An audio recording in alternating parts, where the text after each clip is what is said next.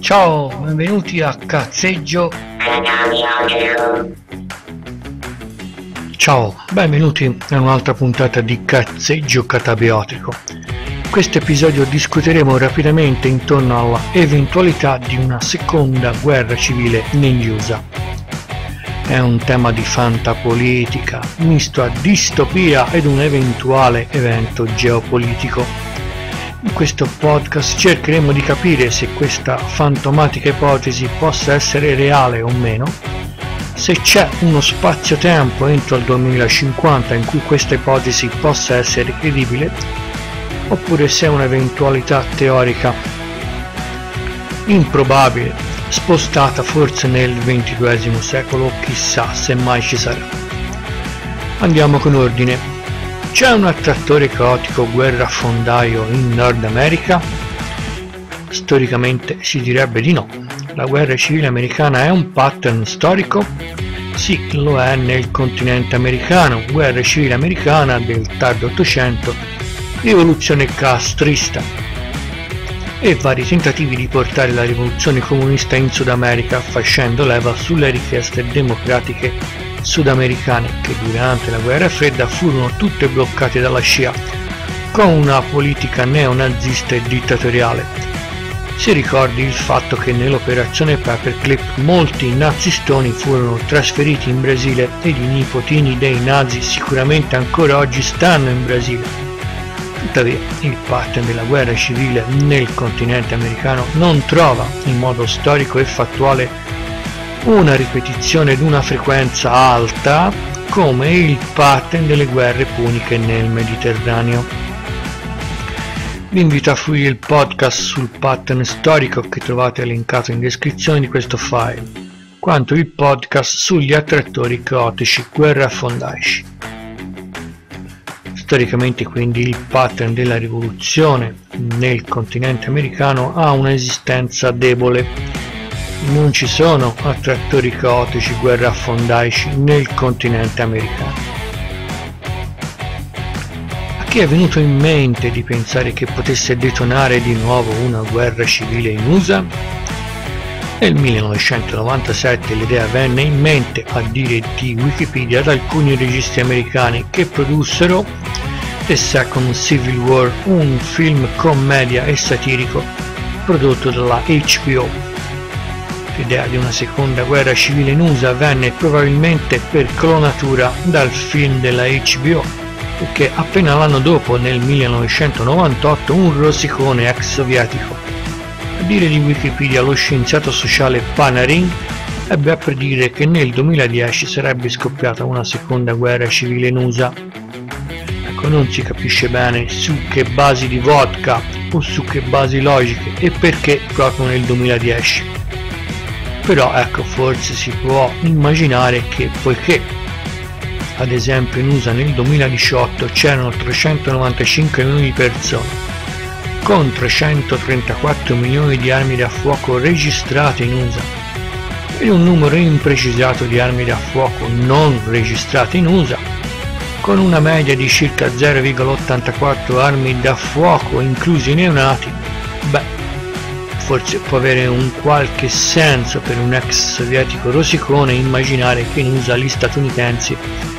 avrebbero preso a spararsi addosso per qualche ragione. Non si capisce perché la cosa avrebbe dovuto accadere proprio nel 2010, comunque, poiché in USA tutti sono pieni di armi leggere ed aspettano un attacco Apache, inclusi i nativi americani pieni di armi, ecco, la larghissima diffusione di armi leggere è sicuramente un elemento di grande violenza in USA, almeno agli occhi di un europeo.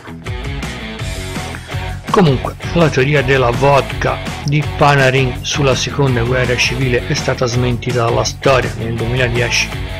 Non ci fu nessuna seconda guerra civile americana negli USA.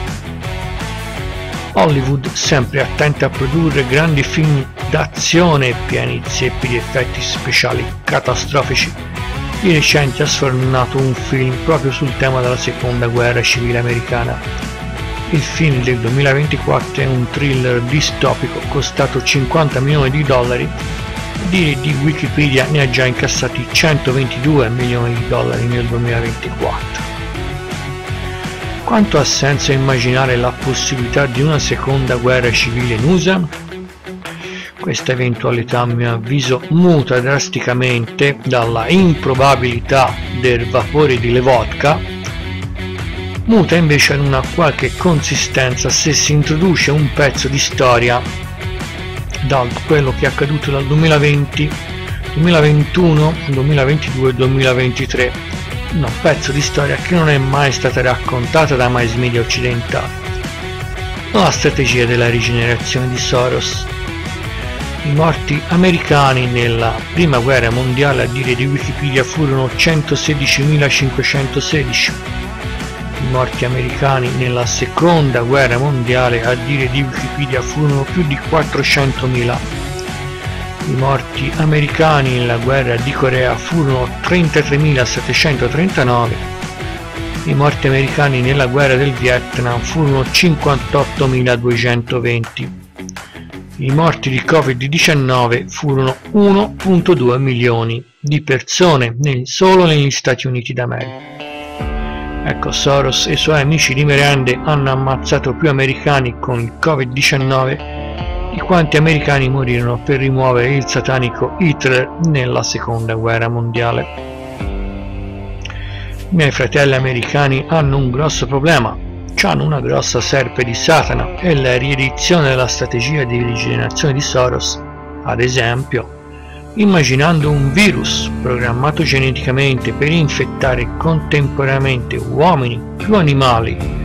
quelli dell'allevamento, causerebbe un collasso nel settore primario, creando il bisogno di usare le licenze dei reattori di Soros su carne, pesce, verdura, frutta, frumenti sintetici. Fanta politica? Boh, non direi proprio, sono sicuro che il tema della strategia di rigenerazione di Soros lo leggeremo lo leggeranno praticamente i posteri sui futuri libri di storia tra 75 e 100 anni quando si parlerà dei primi decenni di XXI secolo. Ma al momento i mass media occidentali fingono di non sapere, i mass media occidentali fingono di non aver visto, i mass media occidentali fingono di non aver udito se venisse fuori che Soros e i suoi amici di merende e Theodem hanno applicato la strategia di rigenerazione di Soros in un paese con larghissima diffusione di armi da fuoco, ecco, io non penso che scoppierebbe una guerra civile, perché in Nord America c'è una larga cultura protestante e la pratica politica comune di usare un capo espiatorio per dare tutta la colpa della faccenda ad una persona oppure per dare la colpa a poche persone in modo da chiudere la faccenda. Sarebbe quindi politicamente conveniente per il sistema politico americ americano incolpare Soros e pochissimi altri chiudendo la faccenda, facendo così anche autocritica al verso del mondo ed offrendo il colpevole su un piatto d'argento ma ormai le guerre batteriologiche nel XXI secolo sarebbero state sdoganate. Secondo voi chi negli Stati Uniti ha interesse a far detonare un nuovo guerra batteriologica dopo l'attacco con SARS-CoV-2? H con 0, il complesso militare industriale americano con i repubblicani per applicare il pivot in China? H con 1, la finanza di Soros, le assicurazioni le aziende farmaceutiche con i produttori di armi leggere con i democratici? H con 2, entrambi. H con 3, nessuno dei due. Mia personale opinione è che la strategia di rigenerazione di Soros dimostra che H con 1 è vera. H con 1 impatti nell'economia USA con sistemi sanitari privati e business assicurativi impatti di una guerra batteriologica. H1.1 La morte precoce dell'assicurato permette di incamerare i montanti accumulati con i premi, che non verranno mai trasformati in spese mediche future, ma in profitti nell'anno della pandemia. È vero che una epidemia fa alzare i pagamenti per servizi sanitari da assicurazioni agli ospedali, ma una pandemia manda in saturazione i sistemi sanitari e il grosso assicura degli assicurati crepa per mancato accesso alle cure mediche, esborsi assicurativi che si trasformano in profitti per aziende sanitarie private, aziende sanitarie private spesso che fanno anche parte dei gruppi a livello di infragruppo dei gruppi assicurativi, oltre al business dei vaccini e delle aziende del settore farmaceutico e dei servizi sanitari.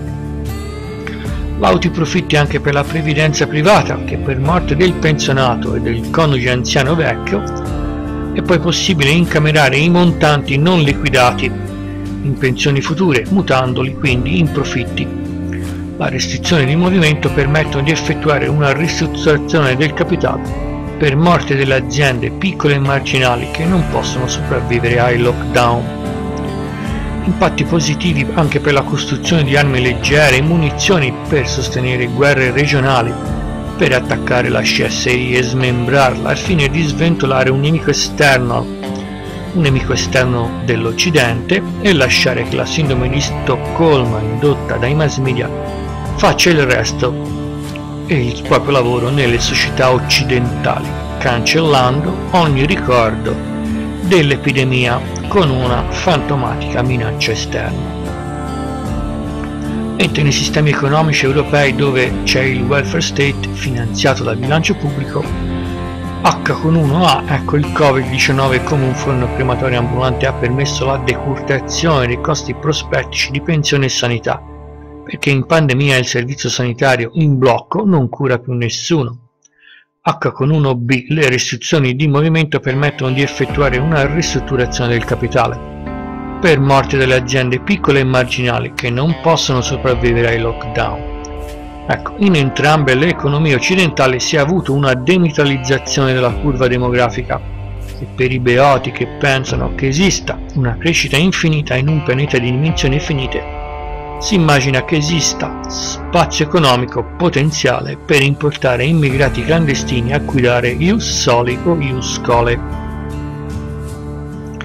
Se è vera H con 1 allora sicuramente è falsa H con 3.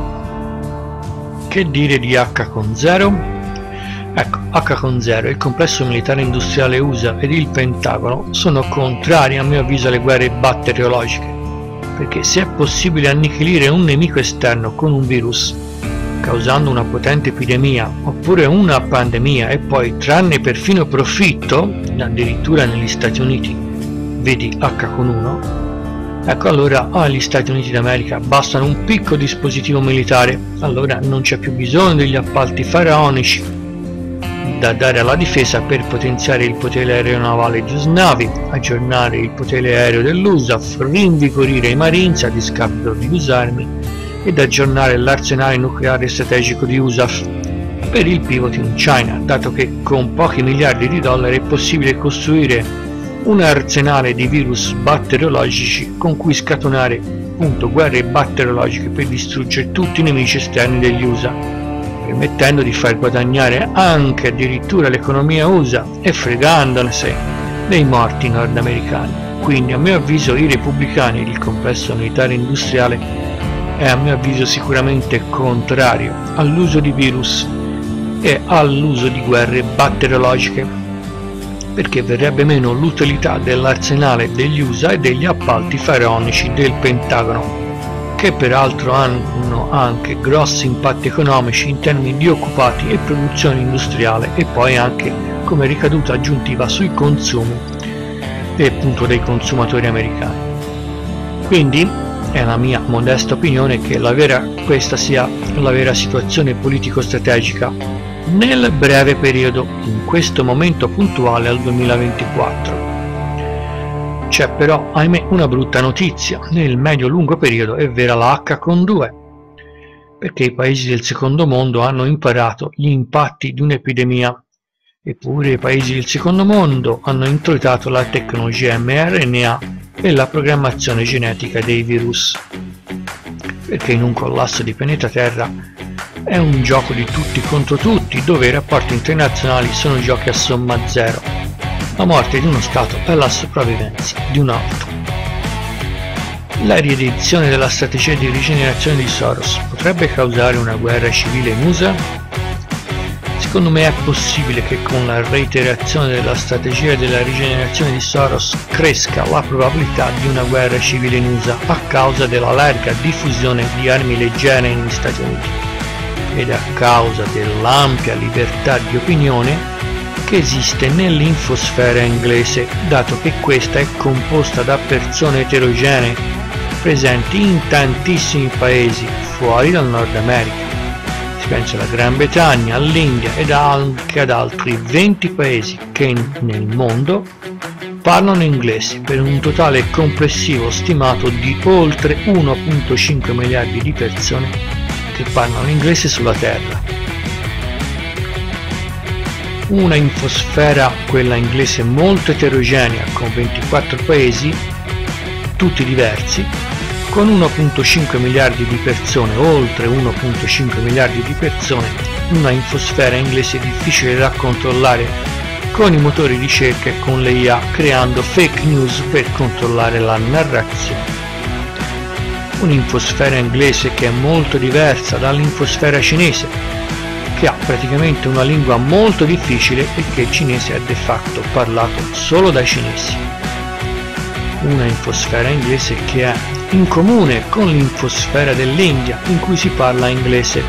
come negli altri 23 paesi che condividono la stessa infosfera inglese. Una infosfera inglese che è diversa dall'infosfera russa, in cui si parla il russo praticamente quasi solo nella CSI, ossia lungo i vecchi confini di quello che una volta era l'URSS. Quindi in sintesi a mio avviso sarà vero che strategia, che, della strategia di rigenerazione di Soros troveremo ampia documentazione nei libri di storia futuri fra 75 anni o 100 anni, quando si parlerà dei primi decenni di XXI secolo. Forse il complotto della strategia di rigenerazione di Soros sarà mantenuto sino al 2050 con i mass media occidentali che fingeranno di essere ciechi e sordomuti a riguardo. Dopotutto, del complotto che uccise il presidente Kennedy ancora non si sa niente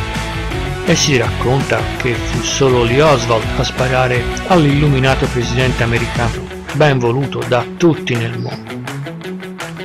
Però è anche vero che Lee Oswald è un facile capo espiatorio per mettere una pietra tombale sulla faccenda e si potrebbe fare analogamente